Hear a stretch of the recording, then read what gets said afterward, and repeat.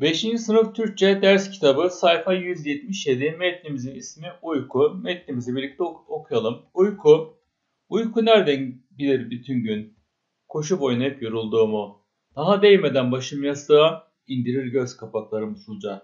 Ak bir bulut yorgan örtüp üstüme çeker götürür beni düşler ülkesine. Uyku öyle garip bir öykü ki ne yeri ne zamanı belli. Ne başı ne de sonu.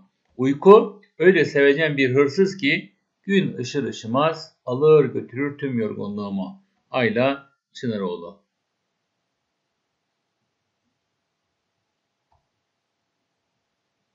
Sayfa 178 birinci etkinlik. Kelimelerin tahmin anlamları tahmin edelim, sözlük anlamlarını bulalım, cümle içinde kullanalım. Düş, rüya, sözlük anlamı uyurken zihinde beliren olayların düşüncelerinin bütünü yani rüya.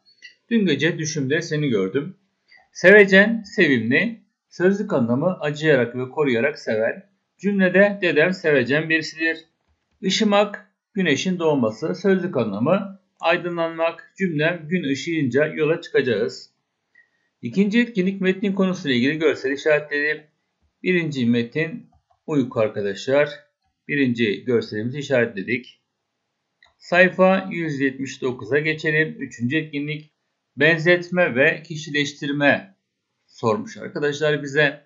Yorganın buluta benzetilmesi, uykunun hırsıza benzetilmesi, uykunun garip bir öyküye benzetilmesi teşbih yani benzetme sanatına örnektir. Teşhis kişileştirme ise uykunun, uykunun şairin bütün gün koşu boyunca yaptıklarını bilmesi, uykunun şairin göz kapaklarını indirmesi, uykuya insana ait bir özellik olan hırsızlığın yüklenmesi.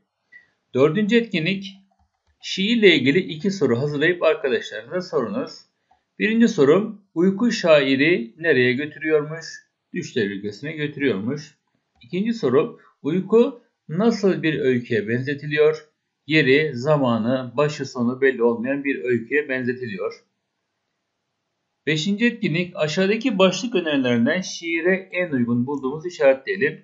Evet en uygun başlığımız arkadaşlar rüya evi çünkü uykuda anlatıldığı için arkadaşlar en uygun başlığımız bu olması gerekiyor. Sayfa 186. etkinlik Melisa'nın bir günü nasıl geçtiğini gösteren bir grafik verilmiş. Oyun 2 saat dinlenme, 2 saat çalışma, 3 saat uyku, 9 saat yemek, 2 saat okul, 6 saat. Melisa gün için en çok hangi faaliyete zaman ayırmış arkadaşlar? 9 saat ile uyku. İkinci sorumuza bakalım. Melisa günde kaç saat dinlenmekte dinlenmeye bakalım. 2 saat dinlenme. Melisa günün kaç saatini okulda geçiyor? Okula bakalım. 6 saatine kısaca yazdım arkadaşlar. Siz uzun cevap yazabilirsiniz.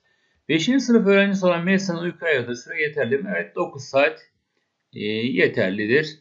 Melisa yemek ve oyun için toplam ne kadar vakit ayırıyor? Melisa yemek ve oyun için toplam 2 saat 2 saat diğerinde de 2 saat toplam 4 saat yani arkadaşlar. Oyun için 2 saat yemek için 2 saat toplam 4 saat. Melisa'nın en az zaman ayırdığı faaliyet nelerdir? Siz bu faaliyetlere ne kadar zaman ayırıyorsunuz? Melisa en az oyun, dinlenme ve yemeğe zaman ayırmaktadır. Ben yemeğe biraz daha az, dinlenmeye biraz daha fazla zaman ayırıyorum. Yedinci etkinlik şiirden alınan aşağıdaki dizeyi okuyunuz. Bu dizede geçen yastığa kelimesiyle hangi ses olayı vardır arkadaşlar? Yastık A. Normalde burada arkadaşlar K sesi var biliyorsunuz. A ile başlayan, ünlü ile başlayan bir ek getirilmiş. Burada ünsüz yumuşaması olmuş. Sayfa 181. Daha iyi bir uyku için aşağıdaki önerileri okuyunuz. Bu önerilerden uyduklarınızı işaretleyiniz. Burada arkadaşlar herkes kendisine göre buradaki ifadeleri okuyup uyduklarını işaretleyebilir. Yatmadan önce uykuyu bozan yiyecek ve içecekler tüketmeyin. Evet. Aynı saatte yatmaya özen gösterin. Evet gündüz değil gece uyuyun. Şekerleme yapmayın. Yatma saatine yakın egzersiz yapmayın. Yani uykunuzu açmayın demek istiyor. Uyuduğunuz yerin havalandırılmış olmasına dikkat edin. Dengeli beslenin. Ben hepsine dikkat ediyorum. Sizler de kendinize göre cevap verebilirsiniz. B bölümünde ise gelişme çağındaki insanlar için uykunun önemini sormuş. İnsan gün içinde pek çok aktivitenin içindedir. Okula gitmek, ders görmek, ödev yapmak, yolculuk yapmak veya çalışanlar için işe gitmek, işte bedensel ve ruhsal anlamda yorulmak, stres yaşamak. Tüm bunlar insanı yorar ve insanın dinlenmeye ihtiyacı olur. Bu dinlenme de ancak düzenli ve yeterli bir uykuyla olur. Bir sonraki güne o günün aktivitelerine hazır hale gelmek için mutlaka yeterli bir uyku lazımdır. Yoksa insan gün içinde yaptıklarını verimli yapamaz, kendisini sürekli yorgun hisseder ve odaklanma sorunu yaşayıp dikkatini yaptığı işe veremez. Bunun için bir insanın her gün mutlaka en az 8 saat uyuması gerekir. Alt bölümde ise arkadaşlar uyku şiirini bir kez daha okuyunuz. Şiirin konusunda ve ana duygusuna bağlı olarak bir şiir yazınız. Dinlendir beni. Çok koştum, çok yoruldum. Derslere girdim, çıktım. Gözlerim kapanıyor. Uyku dinlendir beni.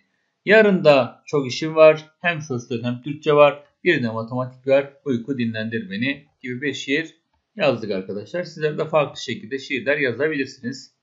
Eğitim videomuz burada sona ermiştir. Yeni eğitim videolarla tekrar görüşmek üzere. Hoşçakalın, takipte kalın.